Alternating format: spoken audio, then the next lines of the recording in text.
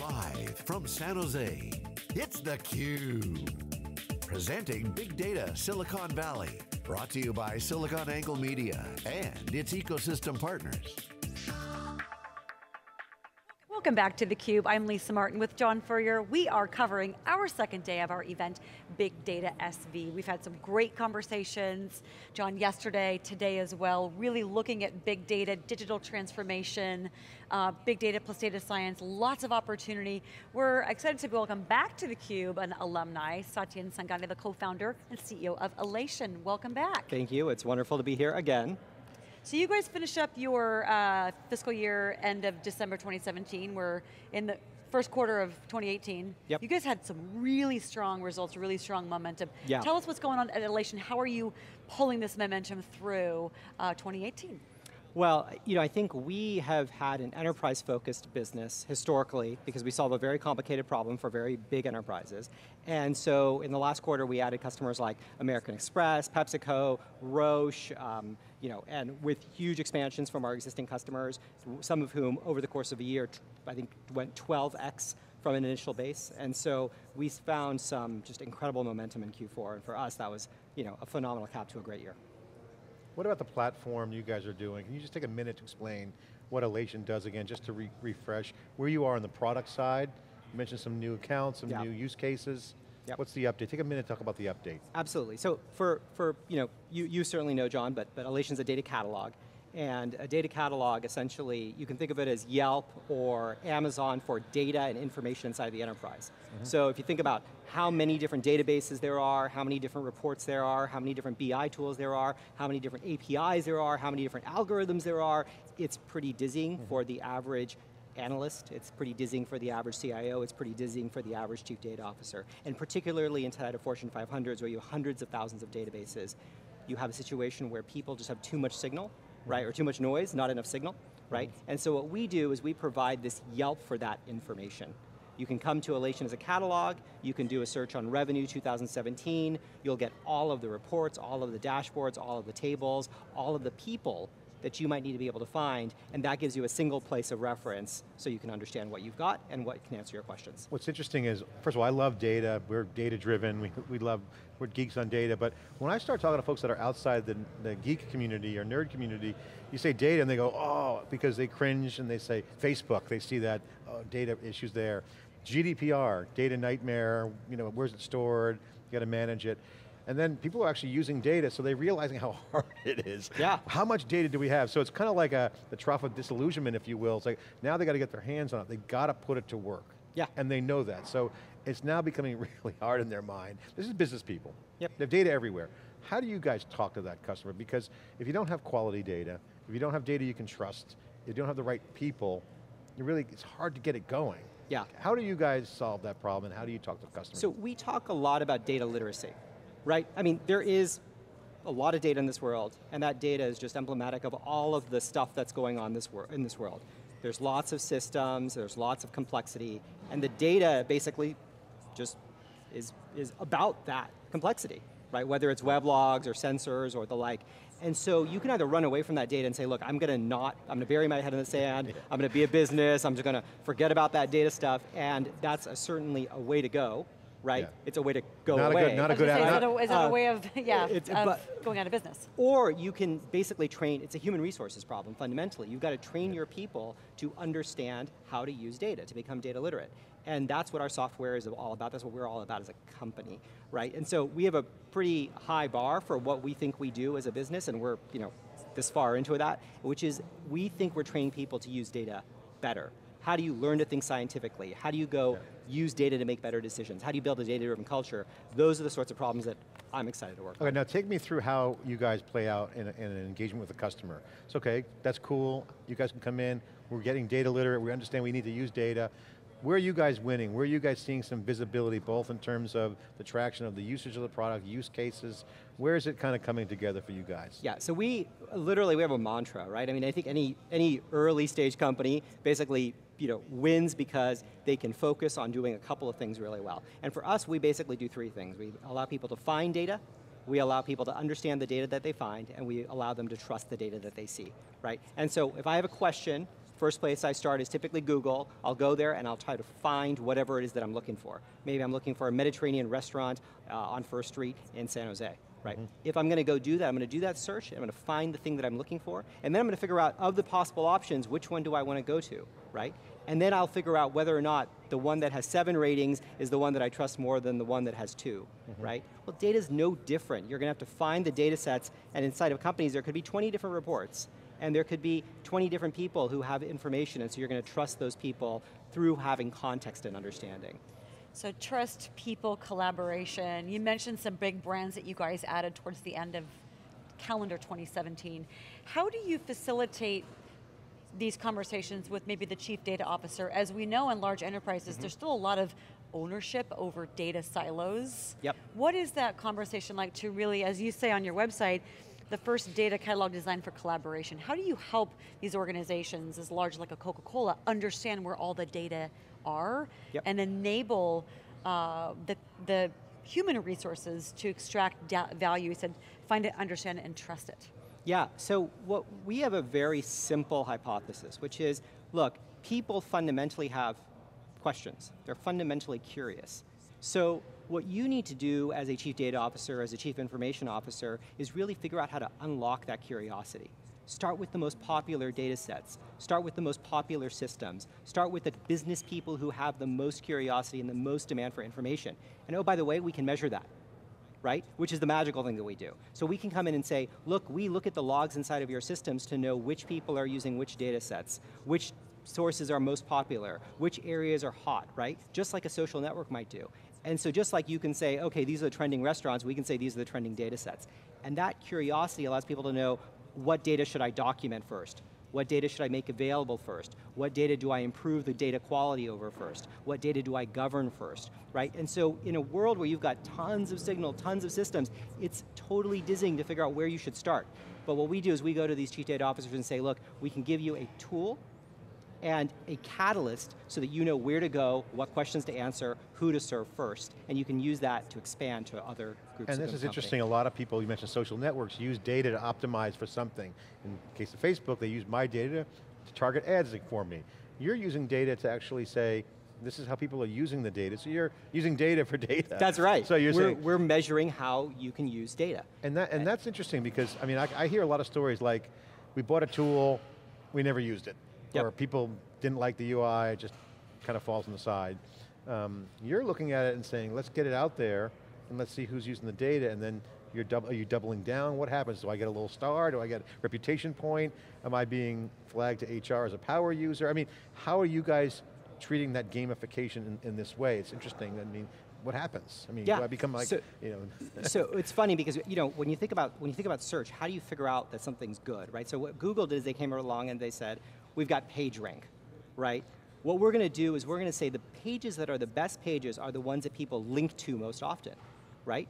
Well, we can do the same thing for data, right? The, the data sources that are the most useful ones are the people that use are used most often. Now, on top of that, you can say we're going to put have experts put ratings, which we do, right? And you can say people can contribute knowledge and reviews of how this data set could be used. Mm -hmm. And people can contribute um, queries and reports on top of those data sets. And all of that gives you this really rich graph, this rich social graph, yeah. so that now when I look at something, it doesn't look like Greek, it looks like, oh, well I know Lisa used this data set, and then John used it, and so at least it must answer some questions that are really intelligent about the media business or about the software business, and so that could be really useful for me if I have no clue as to what I'm looking at. Right? So the and problem so how you, you demystify it through the so social connections. So the problem that you solve, if what I hear you correctly, is that you make it easy to get the data. Yeah. So there's some ease of use piece of it, yep. cataloging, and then as you get people using it, this is where you take the data literacy and go into operationalizing data. That's right. So I mean, this is, seems to be the challenge. So if I'm a customer and I have a problem,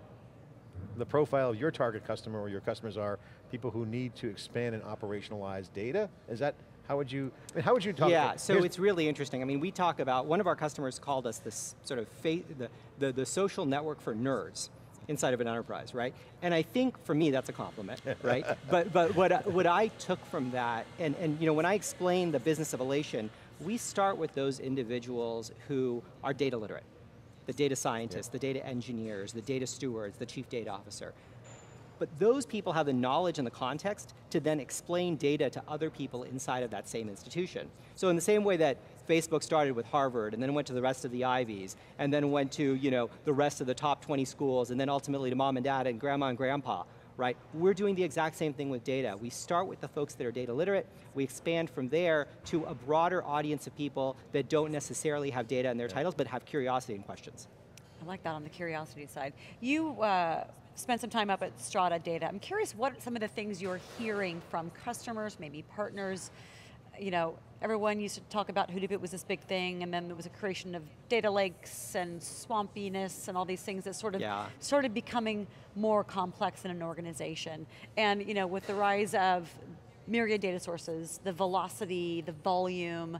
How do you help an, an, enterprise understand and be able to catalog data from so many different sources? Is it that same principle that you just talked about in terms of let's start with the lowest hanging fruit, start making the impact there and then grow it as we can, or as an enterprise needs to be competitive and move really, really quickly, um, I guess what's the kind of the Yeah, the how do you process? start and right. what do people do? Yes. So, so it's interesting, I mean what we find is multiple ways of starting with multiple different types of customers. And so we have some customers that say, look, we've got a big, you know, we've got Teradata, and we've got some Hadoop, and we've got some stuff on Amazon, and we want to connect it all, right? And those customers do get started, and they start with hundreds of users. In some case, they start, you know, with, you know, thousands of users day one, and they just go big bang, right? And interestingly enough, we can get those customers enabled in matters of weeks or months to go do that, right? We have other customers that say, look, we're going to start with a team of 10 people, and we're going to see how it grows from there. And you know, we can accommodate either model or either approach. Um, from our perspective, you just have to have the resources and the investment corresponding to what you're trying to do, right? If you're going to say, look, we're going to have, you know, $2 of budget, right? And we're not going to have the human resources and the stewardship resources behind it, it's going to be hard to do the big bang.